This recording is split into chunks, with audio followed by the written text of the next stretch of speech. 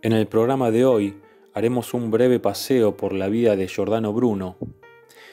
Para comprender la vida de Bruno, primero tenemos que entender la época en la que se desarrolló. El siglo XVI fue una época de grandes cambios. España y Portugal descubrían el Nuevo Mundo al arribar sus flotas a continente americano. La iglesia cristiana sufría de grandes divisiones por diferentes puntos de vista. En 1517 se inicia la Reforma Protestante por Martín Lutero. En 1531 Inglaterra corta con el papado romano y proclama a Enrique VIII como cabeza de la Iglesia anglicana. En Francia se desatan las guerras de religión entre católicos y calvinistas, siendo una época muy violenta y peligrosa.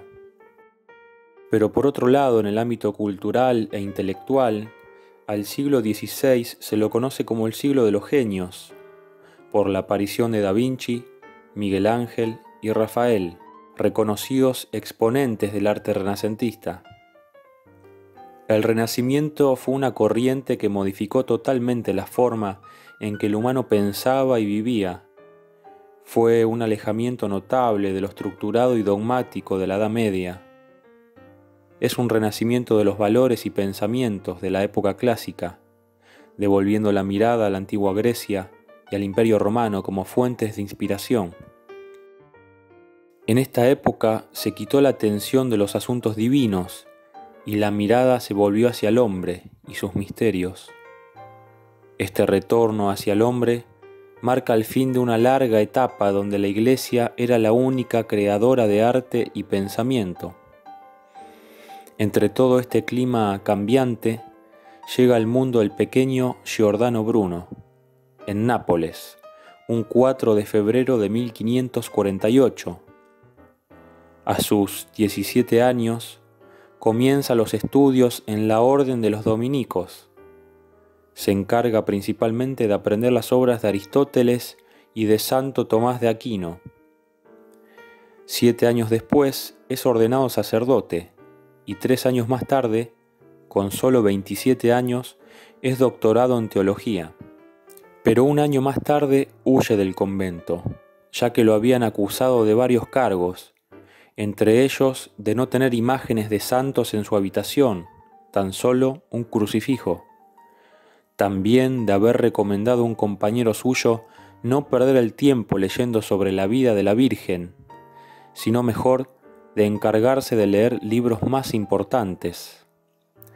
También se le acusó de herejía arriana, que consistía en poner en duda la Trinidad, creyendo que Jesús es el Hijo de Dios, pero no es Dios.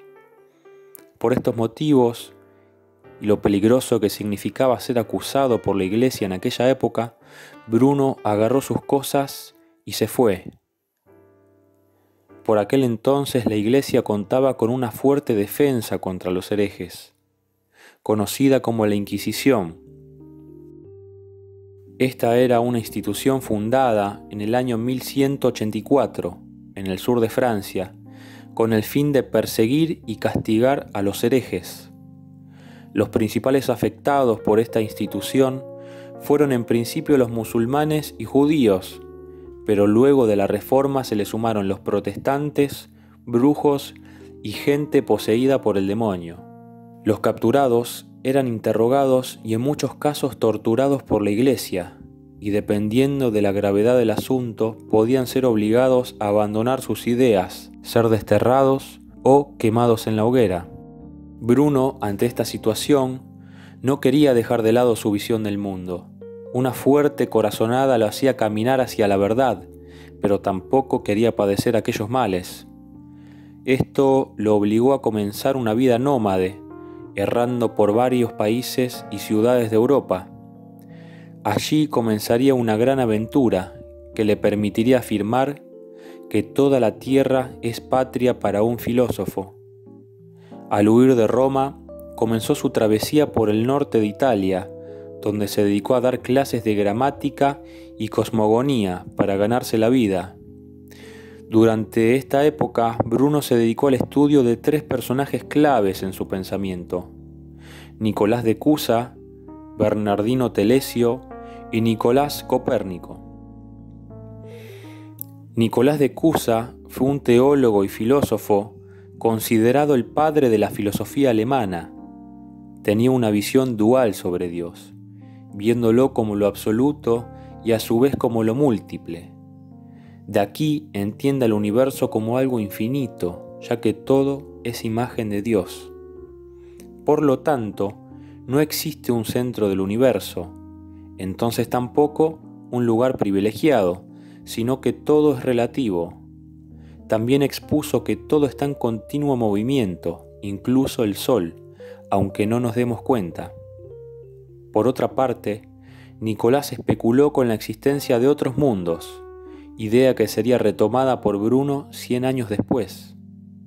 Bernardino Telesio parte sus ideas rompiendo el vínculo con Aristóteles, acusándolo de ser contradictorio consigo mismo y con las sagradas escrituras. Él desarrolla una visión sobre la física del universo, donde el espacio vacío se da como algo posible, ya que el espacio es la capacidad de contener cuerpos, aunque también puede existir sin cuerpos que lo ocupen. Él desarrolla una visión sobre la física del universo, donde el espacio vacío se da como algo posible, ya que el espacio es entendido como la capacidad de contener cuerpos, aunque también puede existir espacio sin que haya cuerpos que lo ocupen, y lo mismo sucede con el tiempo. Por otro lado, Nicolás Copérnico fue un monje astrónomo que desarrolló la teoría heliocéntrica, en la que postulaba al Sol como centro de nuestro sistema solar, y no la Tierra, como se creía hasta entonces. Fundó las bases para la astronomía moderna, pero en aquella época no fue bien aceptado debido a sus ideas extravagantes. Por este motivo no publicó su obra sobre el sistema heliocéntrico, sino que ordenó que se haga una vez muerto, ya que sus descubrimientos iban en contra del pensamiento cristiano acerca del universo. En 1579, Bruno viaja a Ginebra, donde es recibido por el marqués de Vico, quien era calvinista. Allí abandona los hábitos religiosos y comienza a estudiar en la Universidad de Ginebra, pero esto acabaría mal cuando Bruno decide enfrentar a un reconocido profesor calvinista, publicando un material donde expone 20 errores cometidos por el profesor en una de sus clases. Como cada vez que señaló los errores de los demás, esta vez también le jugó en contra. Bruno acabó siendo arrestado y cuando finalmente pudo salir de prisión, viajó a Francia de inmediato. Allí pasaría dos años, doctorándose en teología y a su vez dando clases. A pesar de la compleja situación vivida en Francia por la guerra, es bien recibido por Enrique III, el rey de Francia, y es nombrado como profesor de la Universidad de París en 1581. Dos años más tarde viajaría a Inglaterra, luego de ser nombrado secretario del embajador francés. Enseñó en la Universidad de Oxford, donde se encargó de atacar las ideas tradicionales e impartir la cosmología copernicana. Pero una vez más, sus intentos por hacer entrar a la fuerza sus ideales no fueron bien recibidos y luego de ciertas discusiones abandonó Oxford. Se marcha de Inglaterra y se dirige a Alemania, donde se encarga de repartir los escritos realizados hasta entonces y convoca a los defensores de Aristóteles a un debate público. De vuelta su fervor por mostrar sus ideas y derrocarla de sus contrincantes, no tuvo un buen desenlace. Durante el debate fue ridiculizado, agredido físicamente y expulsado del país. Durante los siguientes cinco años, Bruno vivió en diversos países protestantes, dando clases y continuando su labor de investigación y escritura. Antes de su regreso a Italia, estuvo trabajando en una universidad luterana como profesor de matemáticas, de la cual también acabó siendo excomulgado. De allí se dirigió al convento de las Carmelitas, donde tendría tiempo y paz suficiente para escribir sus poemas. Estuvo un año viviendo ahí hasta su regreso a Italia, y este sería el último de sus errores, pues en Italia le esperaba el peor de los desenlaces. Fue recibido en Venecia por Giovanni Moseniego, un noble que se convertiría en su protector a cambio de recibir sus enseñanzas, aunque no por mucho tiempo, ya que el 21 de mayo de 1591 Giovanni se cansó de Bruno, de sus ideas disparatadas y su afán de convencer a toda costa se presentó ante la Inquisición veneciana y lo denunció. Un año más tarde, Bruno es encarcelado por la Inquisición veneciana y poco tiempo después es reclamado por la Inquisición romana. Es trasladado a Roma y aprisionado en el Palacio del Santo Oficio, en el que pasaría ocho años encerrado esperando su juicio.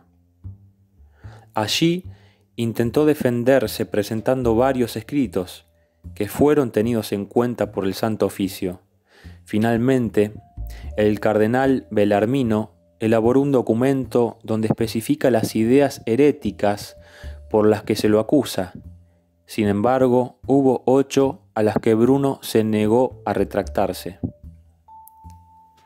El Papa Clemente VIII dudó antes de dictar la sentencia a Bruno, ya que no lo quería convertir en un mártir y allí se conoce su frase, tembláis más vosotros al pronunciar la sentencia que yo al recibirla.